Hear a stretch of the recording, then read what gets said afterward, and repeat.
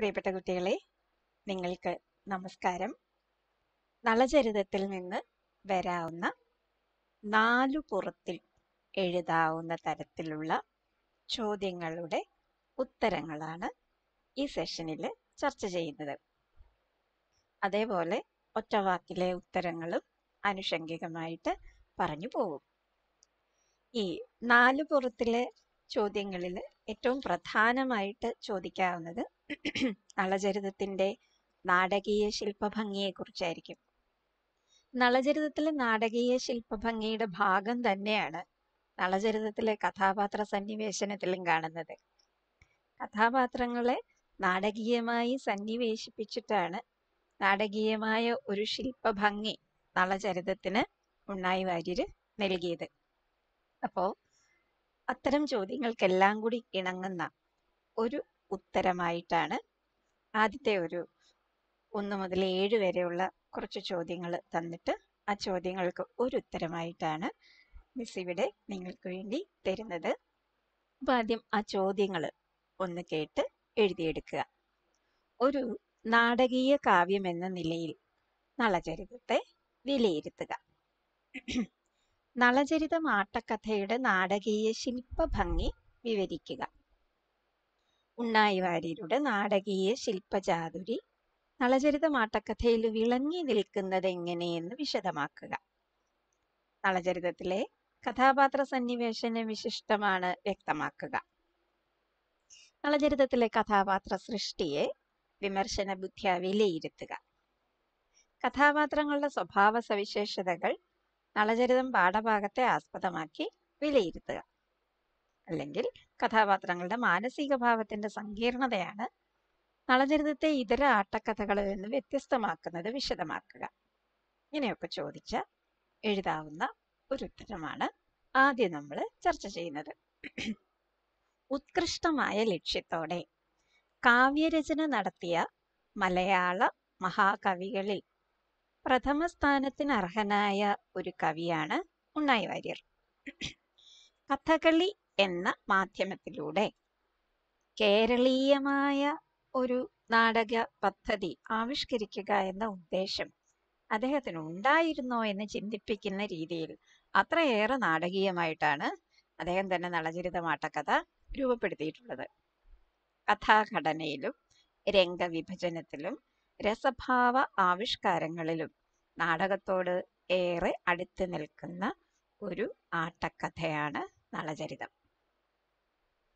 തീവ്ര സംഘർഷം അനുഭവിക്കുന്ന കഥാപാത്രങ്ങളെയാണ് അളചരിതത്തിൽ ഉണ്ണായി വാര്യർ ഉൾക്കൊള്ളിച്ചിരിക്കുന്നത്. ആട്ടക്കഥയുടെ കഥാതന്തുവിനെ ഒന്നാം ദിവസം മുതൽ നാലാം ദിവസം വരെ ഏകാഗ്രമാക്കി നിലനിർത്തുന്നത് കഥാപാത്രങ്ങളിൽ വെളിവാകുന്ന ഈ ആന്തരിക സംഘർഷമാണ്. ഒരു നൃത്യ നാടകത്തിന്റെ ഭാവസാന്ദ്രത സാഹിത്യത്തിലും രംഗപാഠത്തിലും നളചരിതത്തിൽ ദർശിക്കാൻ കഴിയും. കഥകളിയെ ഒരു സമ്പൂർണ നാടക കലാരൂപമായി കണ്ട ആട്ടക്കഥാകാരനാണ് ഉണ്ണായി വാര്യരെന്ന് ശ്രീ ജോസഫ് മുണ്ടശ്ശേരി അഭിപ്രായപ്പെടുന്നുണ്ട്. സംസ്കൃത നാടക ലക്ഷണങ്ങളിൽ സൂചിപ്പിക്കുന്ന നാടകത്തിന്റെ ഗുണഗണങ്ങളെല്ലാം നളചരിതം ആട്ടക്കഥയിൽ ദർശിക്കാൻ കഴിയുമെന്നും നാട്യധർമ്മിയായ അഭിനയത്തിലൂടെ നളചരിതത്തെ ഒരു നല്ല നാടകമാക്കി മാറ്റാൻ കഴിയുമെന്നുമാണ് മുണ്ടശ്ശേരിയുടെ പക്ഷം. നാല് ദിവസത്തെ നളചരിതം കഥയെ നാല് അംഗങ്ങളാക്കി മാറ്റാൻ കഴിയുമെന്നും മുണ്ടശ്ശേരി നിരീക്ഷിക്കുന്നുണ്ട്. ധീരോദാത്തനും പ്രതാപവാനും രാജാവുമായ നളനാണ് നളചരിതത്തിലെ നായകൻ. മുഖം പ്രതിമുഖം ഗർഭം വിമർശം നിർവഹണം എന്ന അഞ്ച് സന്ധികളും മഹാഭാരതത്തിൽ നിന്നെടുത്ത അതിപ്രശസ്തമായ കഥാവസ്തുവും നളചരിതത്തിനുണ്ട്. നളൻ ദമയന്തി കാട്ടാളൻ പുഷ്കരൻ കലി ദ്വാപരൻ എന്നിങ്ങനെ നാലഞ്ചിലധികം കഥാപാത്രങ്ങളുണ്ട്. നളന് വിജയമുളവാക്കുന്ന കഥാന്ത്യമാകയാൽ നാഥോദയം നാടകം എന്ന നാടകലക്ഷണവും ചേരും. ഇങ്ങനെ സംസ്കൃത നാടകത്തിന് അനുഗുണമായ എല്ലാ ലക്ഷണങ്ങളും നളചരിതമാട്ടക്കഥയിൽ കാണാൻ കഴിയും. ഇതിലുപരിയായി കഥാപാത്രങ്ങളിലെ ആന്തരിക സംഘർഷമാണ് നളചരിതത്തെ കൂടുതൽ നാടകീയമാക്കുന്നത്. കഥാപാത്രങ്ങളുടെ ആന്തരിക സംഘർഷം പ്രധാന ഭാവമായി ആകയാൽ നളചരിതം നാല് ദിവസങ്ങളിലായി പതിമൂന്ന് വിചാരപദങ്ങൾ ഉണ്ണായി വാര്യർക്ക് ആവിഷ്കരിക്കേണ്ടി വന്നിട്ടുണ്ട്. ആന്തരിക സംഘർഷം ആംഗിക അഭിനയ വൈഭവം കൊണ്ട് പ്രേക്ഷകരെ അനുഭവിപ്പിക്കാൻ സാധ്യമല്ലാത്തതിനാലാണ് ഉണ്ണായി ഈ ആവശ്യത്തിലേക്കായി വിചാരപദങ്ങളെ സന്നിവേശിപ്പിച്ചത്. നളചരിതത്തിലെ ഓരോ കഥാപാത്രത്തെയും നാടകീയ ശില്പഭംഗിക്ക് ഇണങ്ങും വിധമാണ് ഉണ്ണായി അവതരിപ്പിക്കുന്നത്. നായക കഥാപാത്രമായ നളൻ ധീരോദാത്തനും വിഖ്യാതവംശനും ഗുണഗണങ്ങളുടെ വിളനിലവുമാണ്. ദമയന്തിയിൽ ദൃഢാനുരാഗിയെങ്കിലും ദേവന്മാർക്കു വേണ്ടി ദമയന്തി സമക്ഷം ദൂതു പറയാൻ മാത്രം സംയമനം നളനുണ്ടായിരുന്നു. വിവാഹാനന്തരം രതിലോലനായിത്തീരുന്ന നളൻ അല്പം അലസനാകുന്നിടത്താണ് കലിബാധയ്ക്ക് അവസരം ലഭിക്കുന്നത്. പുഷ്കരന്റെ പോർവിളിക്ക് മുമ്പിൽ അക്ഷമനാകുമ്പോൾ അഭിമാനിയും വികാരങ്ങൾ കടിപ്പെടുന്നതിനുമായ ഒരു സാധാരണ മനുഷ്യനായി നളനെ കാണാൻ കഴിയും. ചൂതിൽ തുടരെ തോറ്റ് രാജ്യവും സമ്പത്തും നഷ്ടപ്പെട്ട നളൻ കാട്ടിലേക്ക് പോകുമ്പോൾ ഭാര്യയെ ജീവന് തുല്യം സ്നേഹിക്കുന്ന അയാൾക്ക് ദമയന്തിയുടെ കഷ്ടതയാണ് ഏറെ സങ്കടകരമായി തോന്നിയത്. ആപത്തിൽ പിരിയില്ലെന്ന ദമയന്തിയുടെ ശാഠ്യം നളനെ കൂടുതൽ സംഘർഷത്തിൽ അടിപ്പെടുത്തുന്നു. താൻ ഉപേക്ഷിക്കാതെ ദമയന്തി സ്വന്തം ഗൃഹത്തിലേക്ക് മടങ്ങില്ലെന്ന ചിന്തയാലാവാം കലിബാധിതനെങ്കിലും നളൻ ദമയന്തിയെ ഉപേക്ഷിച്ചു പോകാൻ തുനിയുന്നത്. കാർക്കോടകനെ രക്ഷിക്കുമ്പോഴും ബാഹുകനായി ഋതുവർണ രാജ്യത്ത് കഴിയുമ്പോഴും ദമയന്തി എന്ന തന്റെ പ്രാണനെക്കുറിച്ച് തന്നെ ചിന്തിക്കുന്ന കഥാപാത്രമാണ് നളൻ. സീതയെ പോലെ ആജന്മശുദ്ധയായ ഒരു സ്ത്രീ കഥാപാത്രമാണ് ദമയന്തി. ദേവന്മാരെ കണ്ടിട്ട് ഇളകാതെ തന്റെ അനുരാഗം നളനിലാണെന്ന് തീർത്തു പറഞ്ഞ അവൾ ദുരിതത്തിലും നളനോടൊപ്പം നിലകൊള്ളുന്നു. പെരുമ്പാമ്പിന്റെ വായിൽ പെട്ടപ്പോഴും കാട്ടാളൻ അനുരാഗം പ്രകടിപ്പിച്ചപ്പോഴും ചേതിരാജ്യത്തും കുണ്ടിനത്തിലും എത്തിയപ്പോഴും നളൻ മാത്രമായിരുന്നു അവളുടെ ചിന്തയിൽ. പ്രാണനാഥനെ കാണാതെ ആധിവാരിതിയിൽ നിന്ന് കരയേറില്ല എന്ന് തീർത്തു പറയുന്ന ദമയന്തി കുലവധുക്കൾക്കിണങ്ങുന്ന വിശിഷ്ട ഗുണമുള്ളവളും മിതഭാഷിയുമായാണ് ആട്ടക്കഥയിൽ പ്രത്യക്ഷപ്പെടുന്നത്. അവളുടെ ഹൃദയവേദനകൾ വിചാരപദങ്ങളാകുമ്പോഴും പതിസ്മരണയിൽ മുഴുകുന്ന അവൾ ഭർത്തൃദോഷം പറയുന്നതേയില്ല. കാട്ടാളൻ എന്ന ഒരു കഥാപാത്രം വളരെ ചിന്തനീയമായ ഒരു ആവിഷ്കാരമായിട്ടാണ് ഉണ്ണായി അവതരിപ്പിക്കുന്നത്. ഔചിത്യത്തോടെ പെരുമാറാൻ സ്വയം ഓർമ്മിപ്പിച്ച് ദമയന്തി രക്ഷയ്ക്കെത്തുന്ന അയാൾ അവളുടെ സൗന്ദര്യത്താൽ സ്ഥലകാലങ്ങൾ മറന്നവനാകുന്നു. എങ്കിലും പെരുമ്പാമ്പിനെ കൊല്ലാൻ തന്നെ താങ്ങി നിൽക്കാൻ ആവശ്യപ്പെടുമ്പോൾ പ്രാണരക്ഷ നടത്തുന്നവന്റെ ജാതി അന്വേഷിക്കേണ്ടതില്ലെന്ന് ഉപദേശിക്കാൻ മടിക്കുന്നില്ല. പെരുമ്പാമ്പിൽ നിന്ന് രക്ഷിച്ച തന്നെ ദമയന്തി സ്വീകരിക്കുമെന്ന് ചിന്തിച്ചു വശായ കാട്ടാളന് അവൾ തന്നെ ശ്രദ്ധിക്കാതെ പോകുന്നത് ഹൃദയം തകർക്കുന്ന അവസ്ഥയായി. അവളെ ബലാൽ സ്വന്തമാക്കാതെ അനുനയത്തിലൂടെ തന്റെ അനുരാഗത്തിലേക്ക് കൂട്ടിക്കൊണ്ടുവരാൻ ശ്രമിക്കുന്ന കാട്ടാളൻ സംസ്കാരമില്ലാത്തവനെന്ന് കരുതാൻ കഴിയില്ലല്ലോ. ദമയന്തിയെ ചേതിരാജ്യത്തെത്തിക്കുന്ന കച്ചവട സംഘ നേതാവ് വിശാല മനസ്കനായ ഒരു കഥാപാത്രമാണ്. മകൾക്കൊപ്പം ദമയന്തിയെ കരുതാൻ സന്നദ്ധയാകുന്ന ചേതിരാജമാതാവ് ഉത്തമയായ ഒരു മാതാവാണ്. കൂട്ടുകാരന്റെ സഹോദരിയായ ദമയന്തിയെ തേടിയെത്തി അവളെ ആശ്വസിപ്പിക്കുന്ന സുദേവ ബ്രാഹ്മണൻ നളചരിതം കഥയെ ശുഭാന്ത്യത്തിലെത്തിക്കാൻ പല അവസരങ്ങളിലും പ്രത്യക്ഷപ്പെടുന്നുണ്ട്. കുണ്ടിന രാജാവും ദമയന്തിയുടെ അച്ഛനുമായ ഭീമസേനൻ ബാഹുകന്റെ സഹകാരികളാകുന്ന ജീവല വാഷ്ണയന്മാർ ഋതുപർണ രാജാവ് ഇവരെല്ലാം നളചരിതത്തെ ജീവൻ ഉള്ളതാക്കുന്ന കഥാപാത്രങ്ങളാണ്. ആദ്യരംഗത്തും അന്ത്യരംഗത്തും എത്തുന്ന ഹംസം ഈ അട്ടക്കഥയുടെ നാടകീയ ഭംഗിയെയും ഔചിത്യ ഭംഗിയെയും വിശേഷാൽ വർദ്ധിപ്പിക്കുന്ന ഒരു കഥാപാത്രമാണ്. നളചരിതം അതിമാനുഷരുടെയോ ദേവാസുരന്മാരുടെയോ കഥയല്ല. യഥാർത്ഥ മനുഷ്യരുടെ പച്ചയായ ജീവിതമാണ് അവിടെ ആവിഷ്കരിക്കപ്പെടുന്നത്. പ്രണയത്തിന്റെ പശ്ചാത്തലത്തിലാണ് കഥ അരങ്ങേറുന്നത്. അതിനാൽ ഈ നാടകീയ കൃതിയുടെ മുഖ്യ രസം ശൃംഗാരമാണ്. ഓരോ കഥാപാത്രത്തിനും വേണ്ടത്ര മിഴിവ് നൽകി കൃത്യമായ സ്ഥാനം നൽകി ആട്ടക്കഥയെ നാടകത്തേക്കാൾ നാടകീയമാക്കാൻ ഉണ്ണായി മനസ്സ് വെച്ചിട്ടുണ്ട്. ഭാഷാപ്രയോഗത്തിൽ സംസ്കൃത മലയാള പദങ്ങളെ മനോഹരമായി മിളനം ചെയ്ത് കൃതിയുടെ നാടകീയതയ്ക്ക് ചേരുന്ന വിധമുള്ള പദഘടന ഒരുക്കുന്നതിലും ഉണ്ണായി വാര്യർ ശ്രദ്ധ വച്ചിട്ടുണ്ട്.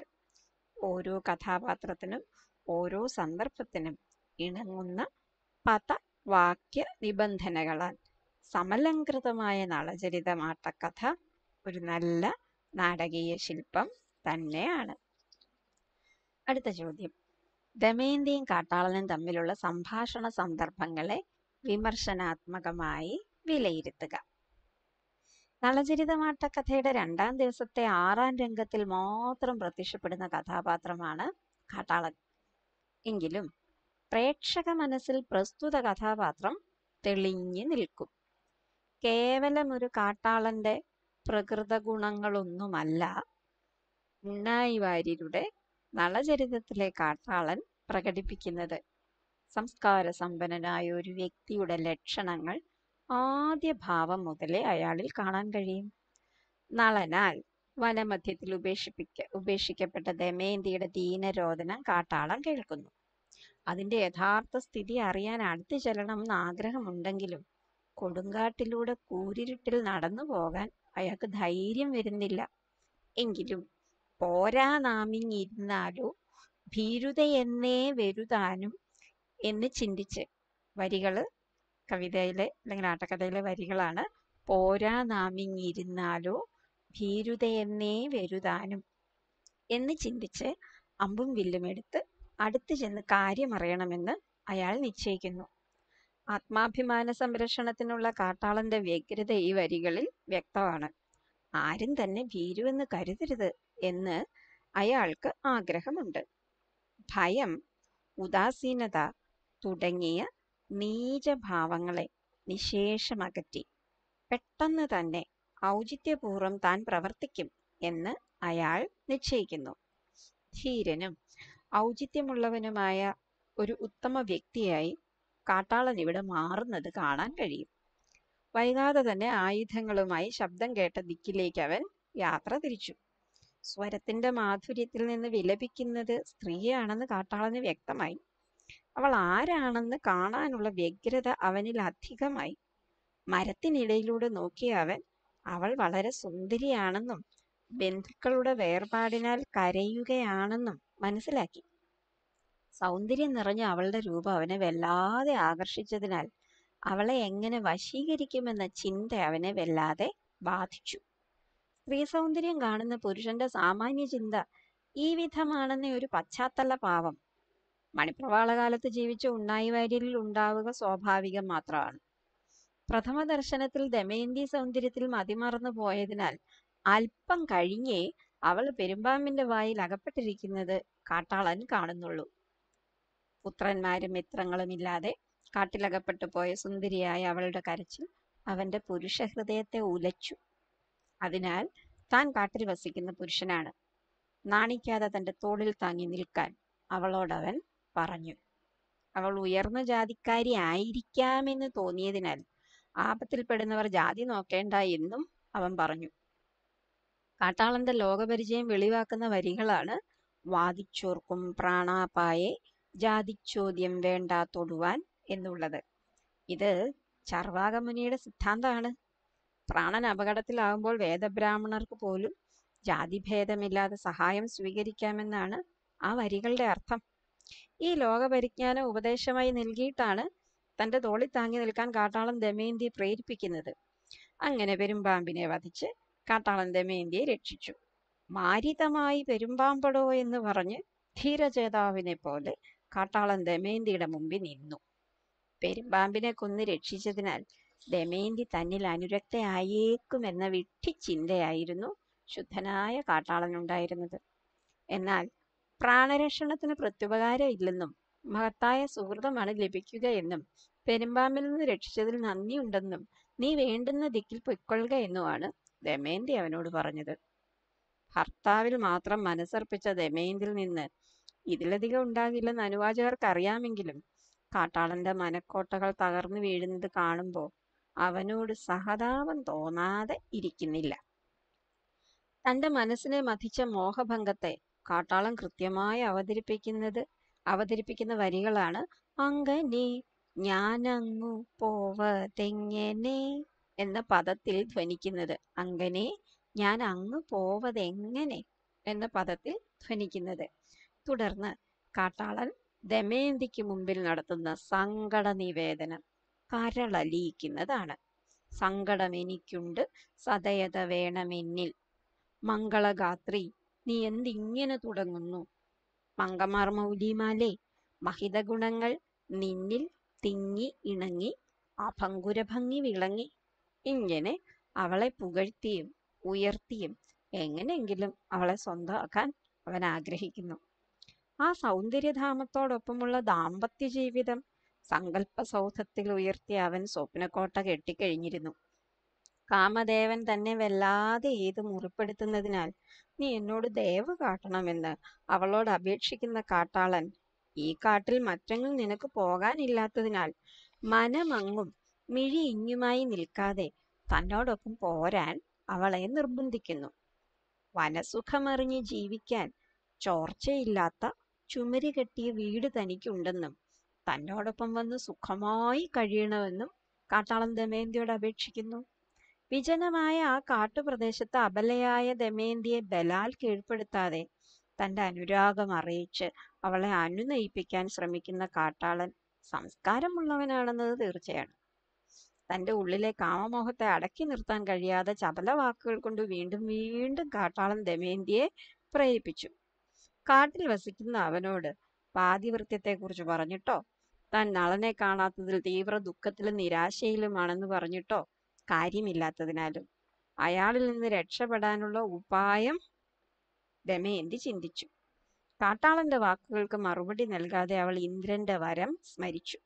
പതിവ്രതയായിരിക്കുന്ന അവസ്ഥയ്ക്ക് ഭംഗം വരുത്താൻ ശ്രമിക്കുന്നവനെ ഭസ്മീകരിച്ചോളാൻ ഇന്ദ്രൻ നൽകിയ വരം പകുതി ഓർത്തപ്പോ തന്നെ കാട്ടാളൻ കാറ്റിൽ ധൂളിയായി തീരുന്നു. കാമാഗ്നിയാൽ എരിഞ്ഞ് പകുതി പൊടിയായി നിന്നിരുന്ന കാട്ടാളൻ വരശക്തിയാൽ മുഴുവനും പൊടിയായി മാറി പറന്നു പോകുന്നു. ഔചിത്യപൂർവം നന്മ പ്രവർത്തിച്ചുവെങ്കിലും സാഹചര്യവശാൽ ജീവൻ നഷ്ടപ്പെട്ടവനായ കാട്ടാളനോട് പ്രേക്ഷകർക്ക് സഹതാപം തോന്നത്തക്ക വിധത്തിലാണ് ഉണ്ണായി കഥാപാത്ര സൃഷ്ടി നടത്തിയിരിക്കുന്നത്. ഇനി അടുത്ത ചോദ്യം. ദമയന്തി എന്ന കഥാപാത്രത്തെ സ്ത്രീപക്ഷ വീക്ഷണത്തിൽ വിലയിരുത്തുക.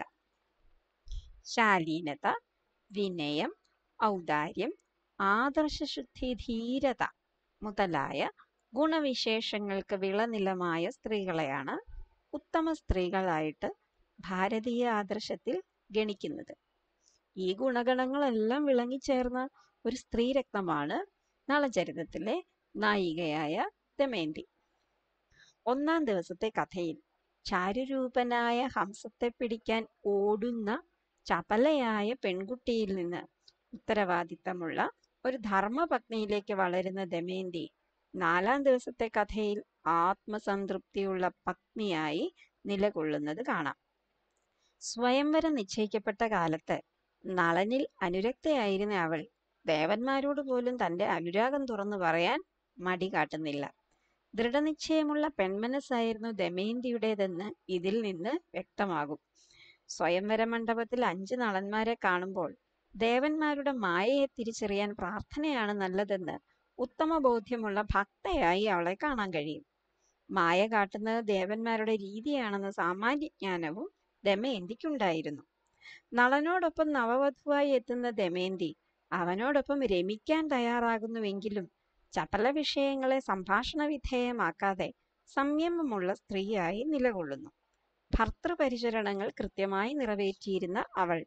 അയാളെ ആത്മാർത്ഥമായി സ്നേഹിക്കുന്നതിലും നല്ല കുടുംബിനിയായി കഴിയുന്നതിലും ദത്ത ശ്രദ്ധയായിരുന്നു. എന്നാൽ ഭർത്താവിനെ ഒരു പ്രകാരത്തിലും തിരുത്തുവാനോ കുറ്റപ്പെടുത്തുവാനോ ദമയന്തി തയ്യാറാകുന്നില്ല. സ്ത്രീപക്ഷത്ത് നിന്ന് നോക്കിയാൽ ഇത് ദമയന്തിയിലെ ഒരു കുറവ് തന്നെയാണ്. നല്ല കുടുംബിനിയായിരിക്കുമ്പോൾ ഭർത്തൃവീക്ഷകളെ പൊറുക്കുന്നത് നന്നാണ്. എന്നാൽ അയാളുടെ കുറവുകളെ സ്നേഹപൂർവം ചൂണ്ടിക്കാട്ടി തിരുത്തേണ്ടത് ആവശ്യം തന്നെയാണ്. അങ്ങനെ തിരുത്തിയിരുന്നെങ്കിൽ വലിയ തെറ്റുകളിൽ പെടാതെ നളനെ സംരക്ഷിക്കാൻ ദമയന്തിക്ക് കഴിയുമായിരുന്നു. പുരുഷ മാത്രമല്ല സ്ത്രീയും സംരക്ഷിക്കാൻ കഴിവുള്ളവളാണ്. സ്ത്രീ പുരുഷനാൽ സംരക്ഷിക്കപ്പെടുന്നത് പോലെ പുരുഷൻ സ്ത്രീയാലും സംരക്ഷിക്കപ്പെടേണ്ടതുണ്ട്. പുഷ്കരനുമായി ചൂതുകളിയിൽ ഏർപ്പെട്ട നളൻ എല്ലാം നഷ്ടപ്പെടുത്തുമ്പോഴും അയാളെ കുറ്റപ്പെടുത്തുകയോ തിരുത്തുകയോ ചെയ്യാതെ കര കരഞ്ഞു പ്രാർത്ഥിക്കുക മാത്രമാണ് ദമയന്തി ചെയ്യുന്നത്. സർവവും നഷ്ടപ്പെട്ട ഭർത്താവിനെ ഉപേക്ഷിച്ചു പോകാതെ അയാളോടൊപ്പം കാട്ടിലലയാൻ പോകുന്ന ദമയന്തി ധീരമായ ഭർത്തൃസ്നേഹമുള്ള സ്ത്രീയാണ്. പിതാവിന്റെ കൊട്ടാരത്തിലേക്ക് ഓടിപ്പോകാതെ ഭർത്താവിന്റെ അഭിമാനത്തെയും ഇഷ്ടത്തെയും മാനിക്കുന്നവളായി അവിടെ ദമയന്തിയെ കാണാൻ കഴിയും. കാട്ടിൽ ഉപേക്ഷിച്ച് നളൻ കടന്നു കളയുമ്പോൾ അയാളുടെ മാനസികാവസ്ഥയെ മനസ്സിലാക്കി ഉന്മാദം മൂലവും നിരാശ മൂലവും സംഭവിച്ചതാണെന്ന് ഉള്ളിൽ കരുതാൻ മാത്രം വിശാല മനസ്സാണ് ദമയന്തിക്കുള്ളത്. പെരുമ്പാമ്പിനാൽ വിഴുങ്ങപ്പെടുമ്പോഴും ഭർത്താവിനെ വിളിച്ച് നിലവിളിക്കുന്ന ദമയന്തിയുടെ ഹൃദയത്തിലെ പ്രണയം ശക്തവും തീവ്രവും തീവ്രതയുള്ളതുമാണെന്ന് കാണാൻ കഴിയും. ആശ്രയരഹിതയായിരുന്നിട്ടും കാട്ടാളന്റെ അനുരാഗ വചസ്സുകൾക്ക് അവളുടെ ചെവിയിൽ സ്ഥാനം ലഭിക്കുന്നില്ല. രക്ഷ ചെയ്ത അയാളോട് നന്ദി പറയാൻ അയാൾക്ക് അവൾക്ക് മടിയുമില്ല.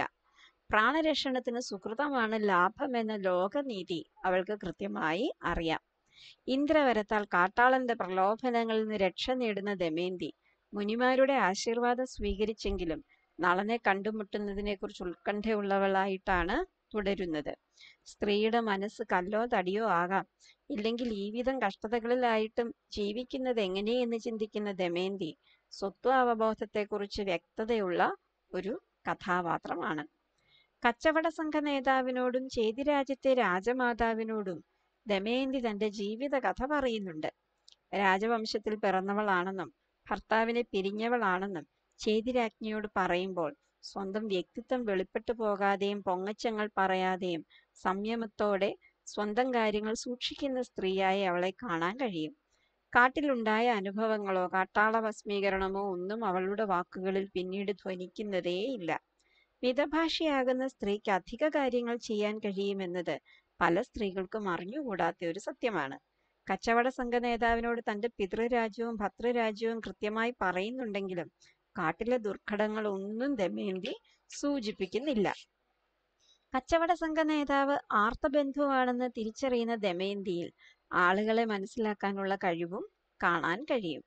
രാജമാതാവിനോട് ഉച്ചിഷ്ടം ഭുജിക്കുകയോ അന്യപുരുഷന്മാരെ കാണുകയോ ഇല്ലെന്ന് പറയുന്ന ദമയന്തിയിൽ വ്യക്തിപ്രതികരണ ശേഷിയുള്ള സ്ത്രീ മനസ്സിനെ കാണാൻ കഴിയും. സ്വന്തം അവസ്ഥ എന്തായിരുന്നാലും തന്റെ ജീവിത രീതികളെ തുറന്നു കാട്ടാൻ അവൾ മടിക്കുന്നില്ല. സംരക്ഷണം ലഭിക്കാൻ ഏത് വിട്ടുവീഴ്ചയും ചെയ്യേണ്ടവളല്ല സ്ത്രീ എന്ന് ഈ ഭാഗത്ത് ദമയന്തി എന്ന കഥാപാത്രം വെളിവാക്കുകയാണ്.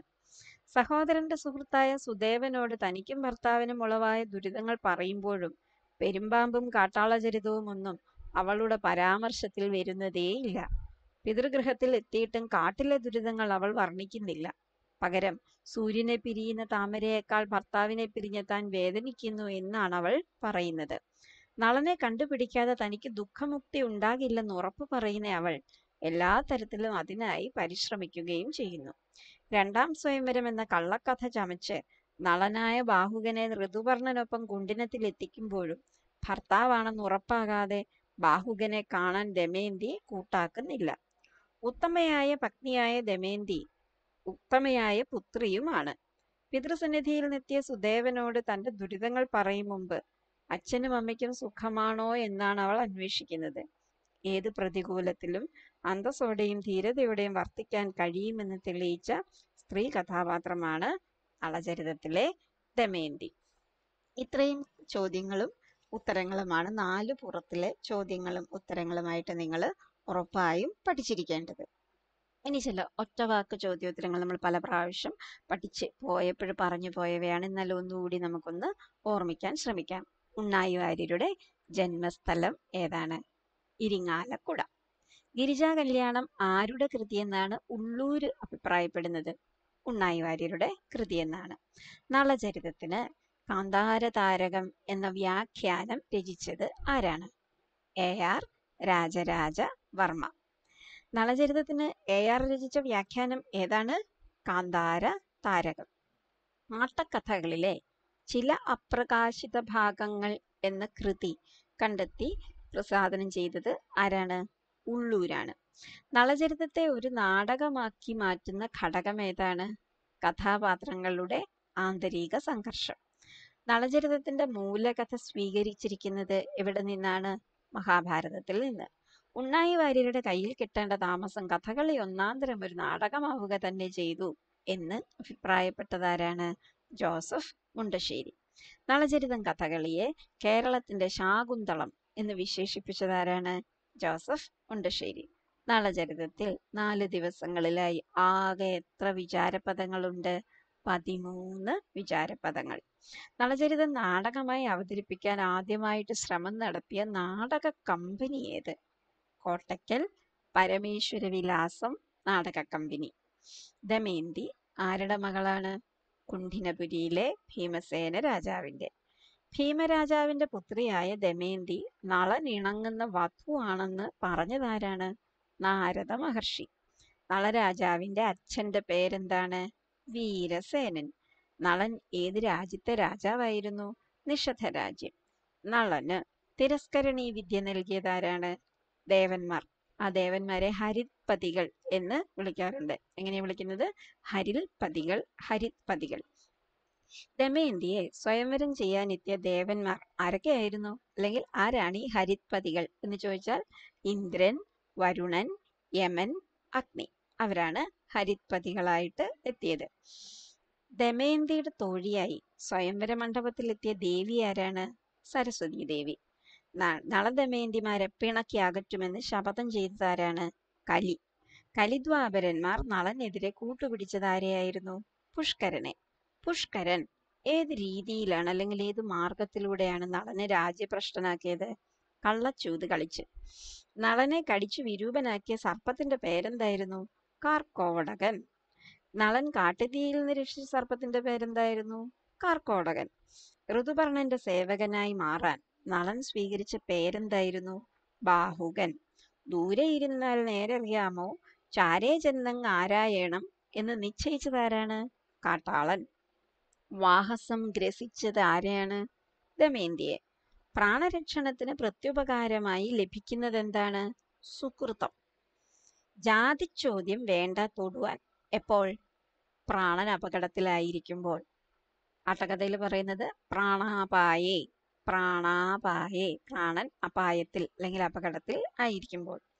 വാദിച്ചോർക്കും ജാതിച്ചോദ്യം വേണ്ട തൊടുവാൻ എപ്പോൾ? പ്രാണൻ അപകടത്തിലായിരിക്കുമ്പോൾ അഥവാ പ്രാണാപായി. പാതിവൃത്യഭംഗം ചെയ്യാൻ ശ്രമിക്കുന്നവനെ ഭസ്മമാക്കാനുള്ള വരം ദമയന്തിക്ക് നൽകിയതാരാണ്? ഇന്ദ്രൻ. പേ വന്നിടുന്നതെന്ന് ചിലർ. പെരുവഴി പോക്കത്തി നന്നെന്ന് കേജിൽ. ആരെക്കുറിച്ചായിരുന്നു ഈ അഭിപ്രായങ്ങളൊക്കെ? ദമയന്തിയെക്കുറിച്ച് ആരാ പറഞ്ഞത്? നദീതീരത്തുണ്ടായിരുന്നവർ. ധൂർത്തനല്ല ദൃഢമാർത്ത ബന്ധു അത്രേ. ആരെക്കുറിച്ചാണ് ദമയന്തി ഇങ്ങനെ ചിന്തിക്കുന്നത്? ശുചി എന്ന കച്ചവട സംഘ നേതാവിനെ കുറിച്ച് ദമയന്തിയെ ചേതിരാജ്യത്ത് എത്തിച്ചതാരാണ്? ശുചി എന്ന കച്ചവട സംഘ നേതാവ്. ദമയന്തിയെ ചേതിരാജ്യത്ത് എത്തിച്ച സാർത്ഥവാഹ സംഘ നേതാവിന്റെ പേരെന്താണ്? ശുചി. ചേതിരാജ്യ അധിപന്റെ പേരെന്തായിരുന്നു? സുബാഹു. അദ്ദേഹത്തിന് വീരബാഹു എന്നും പേരുണ്ട്. ദമയന്തിയെ അന്വേഷിച്ച് ചേതിയിലെത്തിയ ബ്രാഹ്മണന്റെ പേരെന്തായിരുന്നു? സുദേവ ബ്രാഹ്മണൻ. ദമയന്തി സഹോദരന്മാരുടെ പേരുകൾ എന്തൊക്കെയാണ്? ദാന്തൻ ദമൻ ദമനൻ ദാന്തൻ ദമൻ ദമനൻ അപ്പോൾ നളചരിതത്തിൽ നിന്നുള്ള നാല് പുറത്തിൽ ചോദിക്കാവുന്ന ചോദ്യങ്ങളും ഒറ്റ വാക്ക് ചോദ്യങ്ങളും ഉത്തരങ്ങൾ സഹിതം നമ്മൾ കണ്ടു കഴിഞ്ഞു. ഇവയെല്ലാം എഴുതിയെടുത്ത് പഠിക്കുക. നിങ്ങൾക്ക്